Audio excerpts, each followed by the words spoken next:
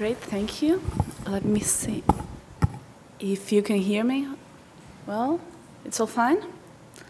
Louder? Yes, I'll try. Let me try.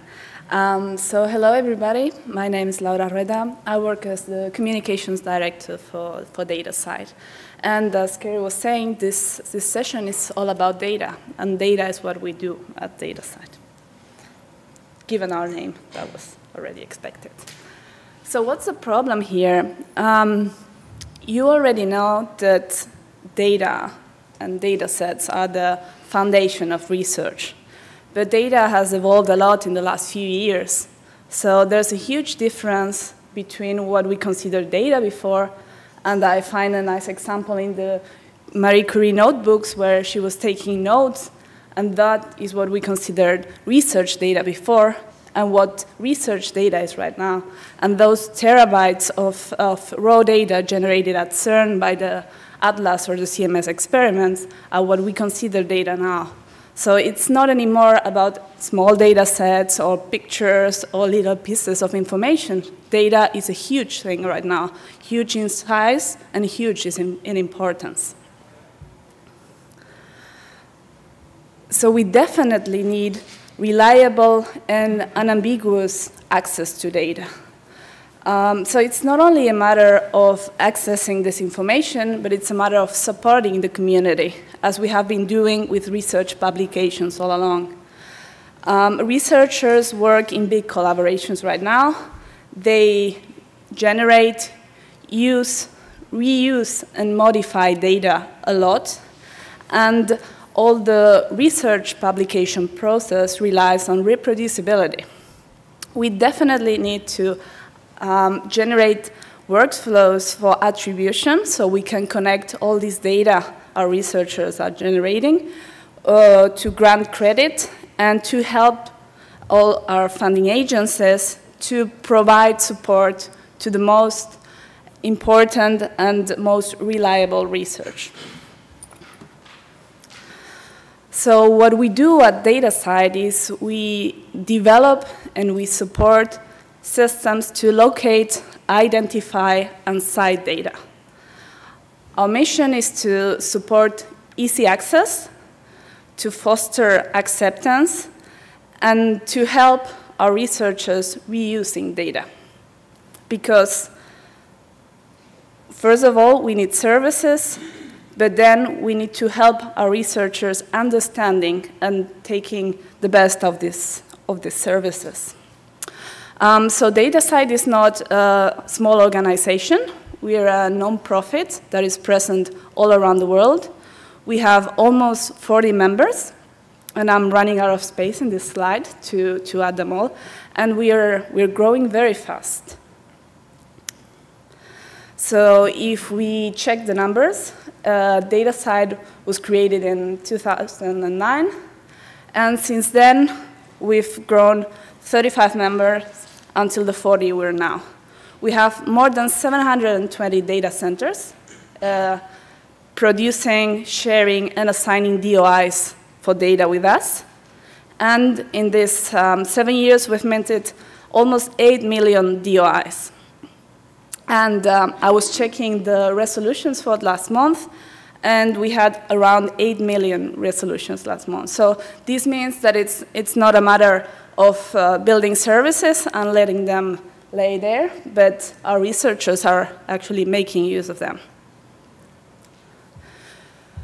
So where are we with data publication? Because it's not only about data DataCite. There are many organizations uh, doing a lot of things uh, lately. I guess the, the first stop is always funders. Um, lately, most of the, of the funders both in the US and Canada and in Europe, have been developing not only open access, but open data policies. And this information is extracted from the Sherpa Juliet um, stats, where we can see that already one-fourth of them are requiring data, data archiving, and they have strict policies about it.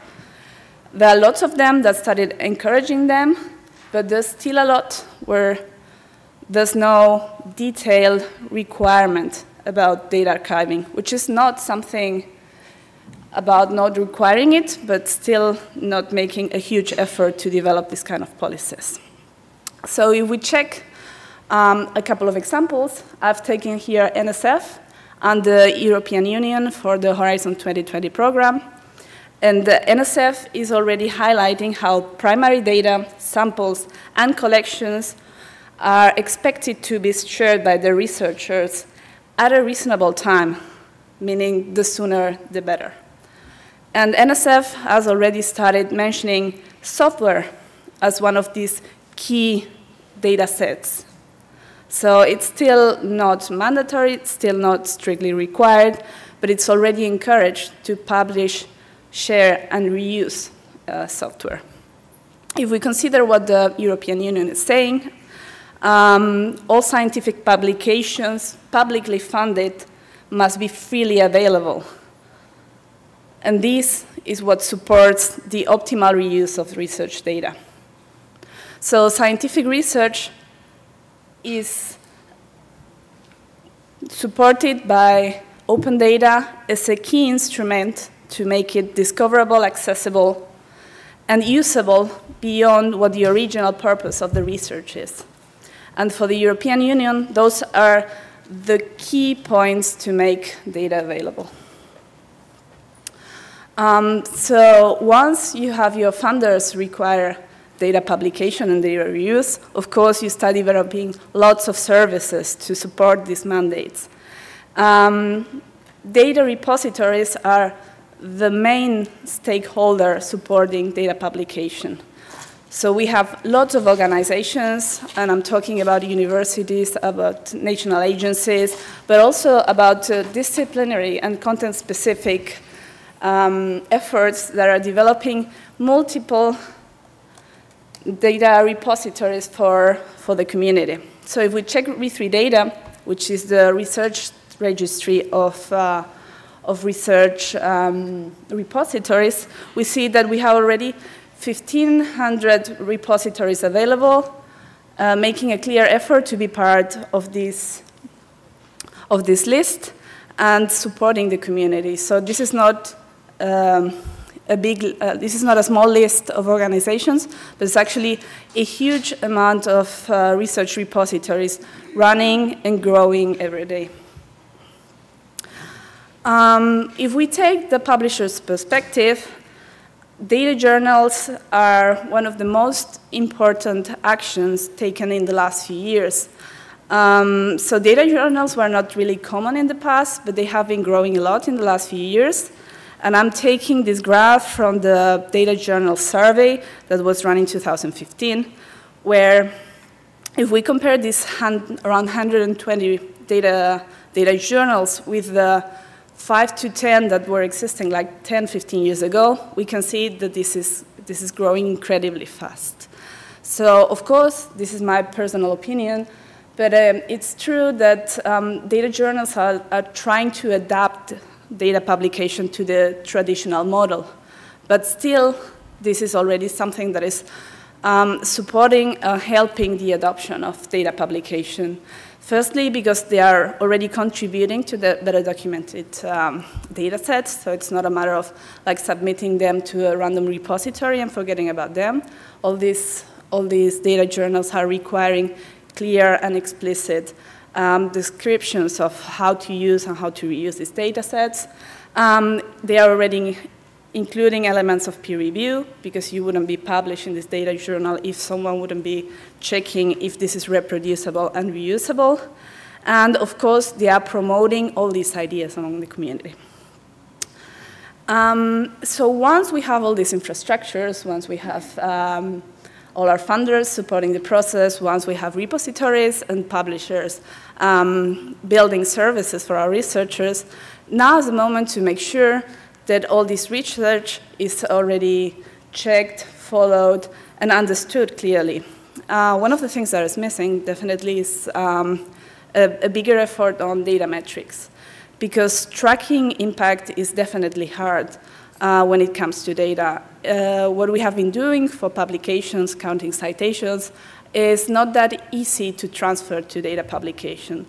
Because data reuse may mean different things. You may be reusing a data set, you may be modifying a piece of software and adapting it to your research, um, you may be extending or putting things together to build something new. So when you're citing data, you may be doing many things with it. And we're definitely not modeling this kind of reuse yet. Um, so there are many there are many projects trying to support data metrics lately.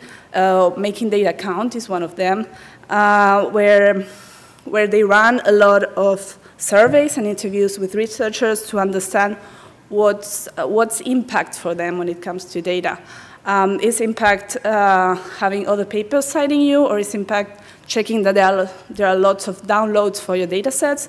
Because um, as data citation is still not a standard, many times the other indicators may be particularly important.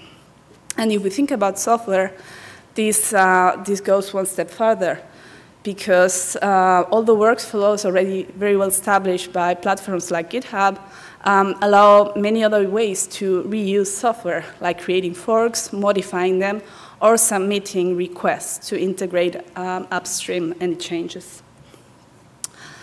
So where are we heading to with all these changes?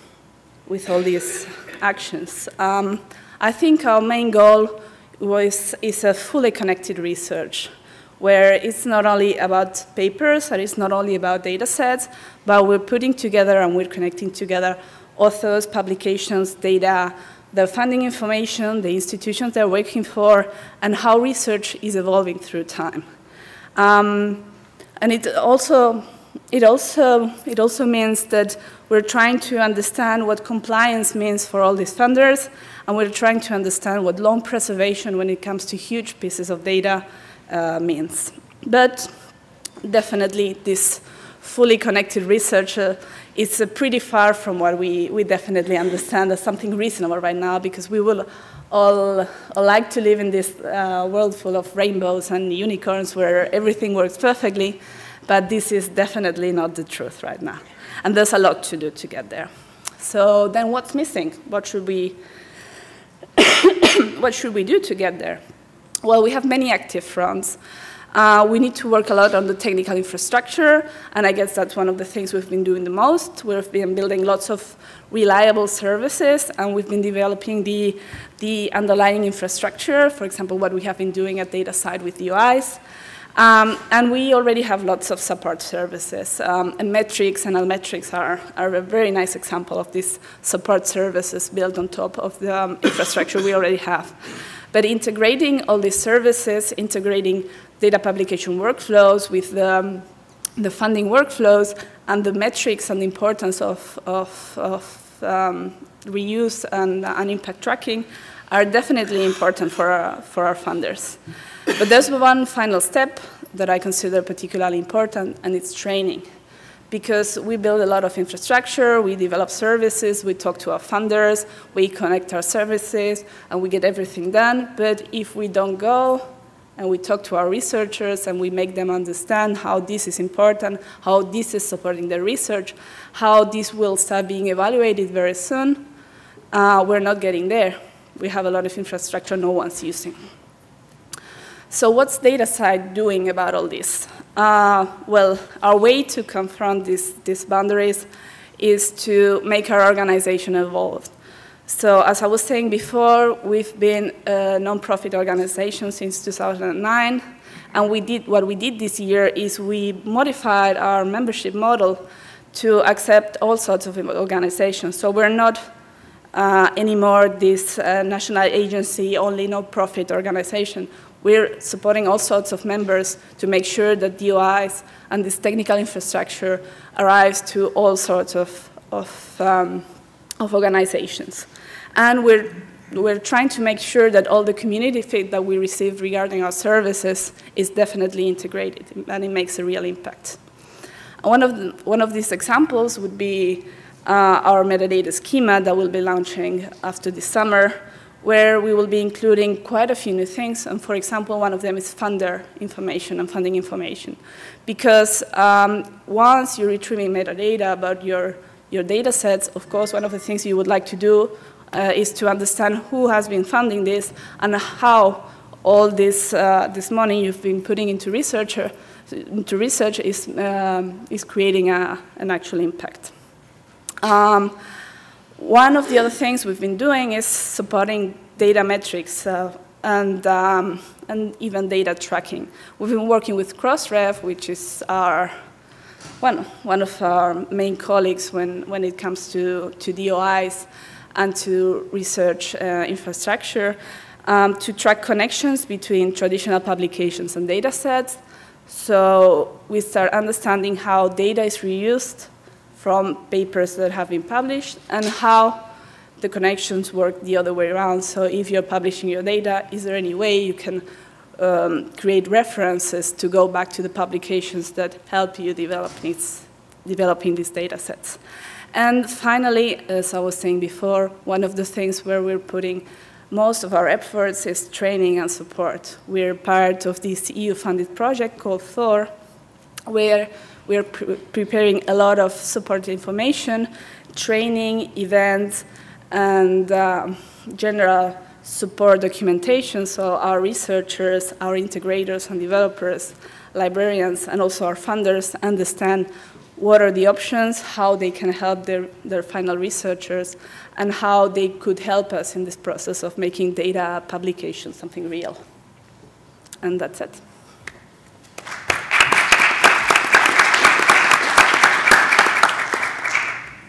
Great. Do we have any questions for Laura? Okay, I actually have um, one uh, follow-up on Thor. Yep. Um, I, I, think that's a very interesting project, and I wonder if you could talk a little bit about, um, you talked about libraries and how they would work, but mm -hmm. publishers obviously have a, a real and direct uh, contact point with authors and, and helping authors provide data for us. Mm -hmm. are you working or looking to work with publishers to yeah. improve that, that experience? Are you working to support publishers as they work with authors to mm. provide data? So what we did when we organized the, the Thor team is we tried to, to integrate the, the publisher's perspective, and we have two publishers working with us. One is PLOS, and the other one's Elsevier through Elsevier Labs. And what they are doing is they're integrating through their submission systems uh, persistent identifiers both for data and for authors. So when you're submitting a paper to a set journal, you can start attaching and getting DOIs for, for your data sets, the ones that are that have some sort of relation to this to this paper, and you can connect all these publications back to your ORCID, uh, your ORCID record. So you're putting together all this information.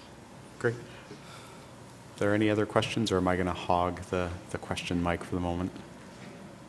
All right, I only have one more.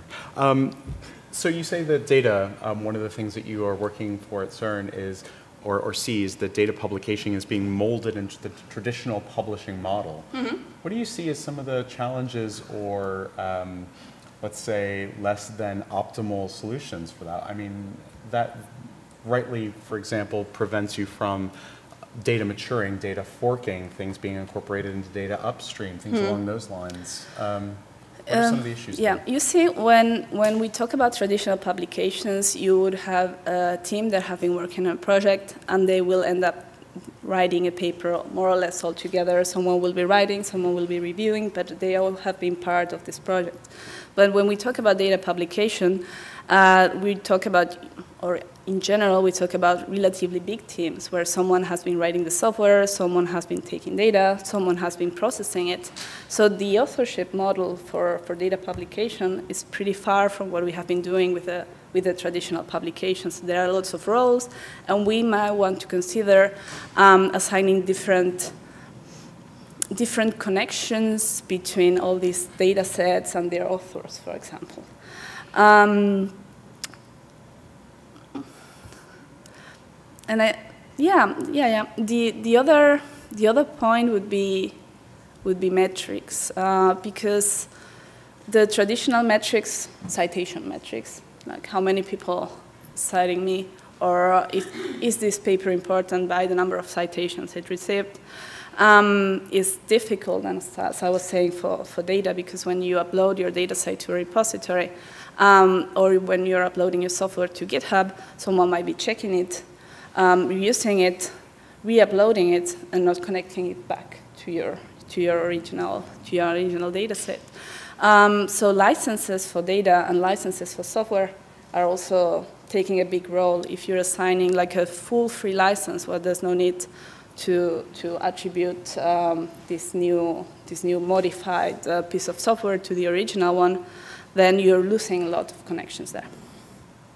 Okay, great. Any other questions? Well, wonderful. Thank you. Laura.